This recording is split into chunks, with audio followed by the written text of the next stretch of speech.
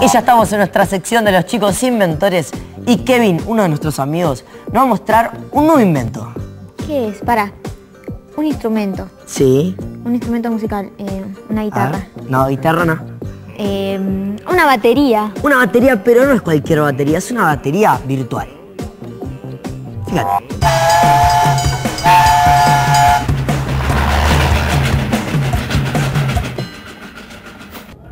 ¿Qué tal chicos? Mi nombre es Kevin.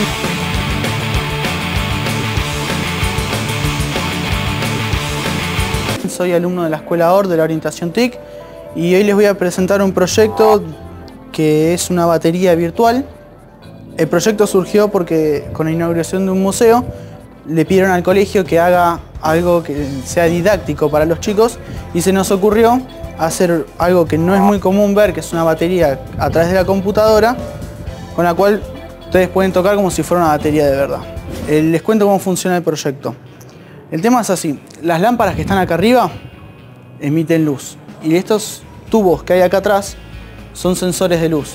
Cuando la luz no llega a esos sensores, a través de la computadora se ejecuta un sonido que es un sonido diferente para cada tono.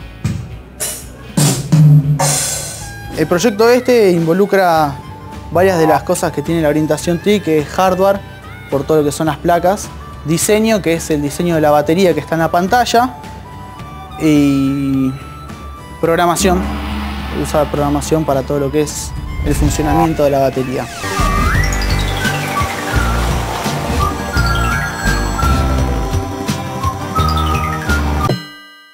La luz está formada por ondas que se propagan en todas direcciones en línea recta. Es un conjunto de rayos o partículas que provienen de una misma fuente, como por ejemplo el sol o una linterna, y que además no se dispersan. Haz de luz. Dentro de la ORT de Belgrano es una de las, cuat- es una de las tantas orientaciones que se puede seguir que involucra lo que es la computación. En TIC aprendes diseño, hardware, programación, redes y son cuatro cosas que se usaron para poder lograr este proyecto.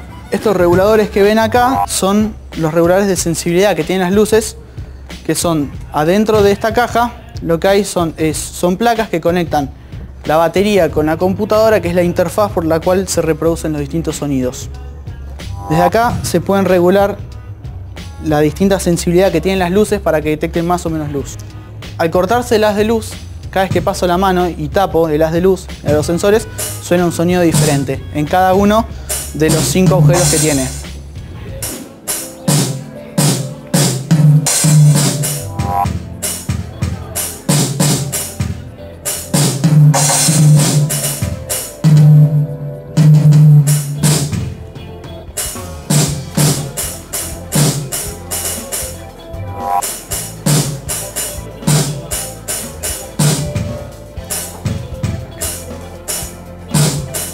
Bueno chicos, muchas gracias por haber visto el programa, espero que les haya gustado el proyecto y nos vemos la próxima.